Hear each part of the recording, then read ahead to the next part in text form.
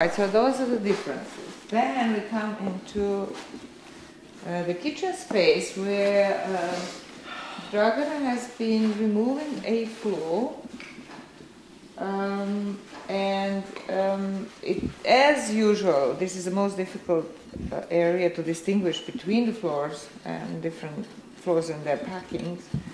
But she's now close to arrive on a more solid white plastered floor like this stuff here. And um, then I think we will be able to connect more securely with the rest of the house, that floor with the floors of the rest of the house.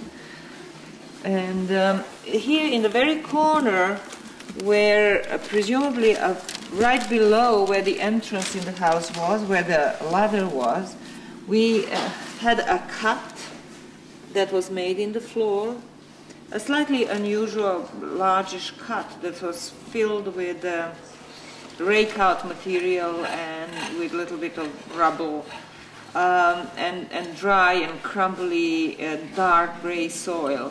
And in there we had a cache, obsidian cache, and pieces of obsidian were preserved. There were there, there was a complete one and bifacial, and then there was a half one, and there were a couple of larger flakes, and they were all concentrated in this part of the house. They have been removed two days ago on Thursday afternoon because it was the end of the week and we needed, uh, at the end of the day, we needed to remove them, take them down into the finds lab.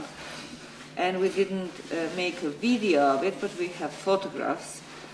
Um, so that was our uh, partially emptied cache, I'm sure, because um, I'm sure there was more pieces in it, but uh, some were left and some um, were taken out in prehistory.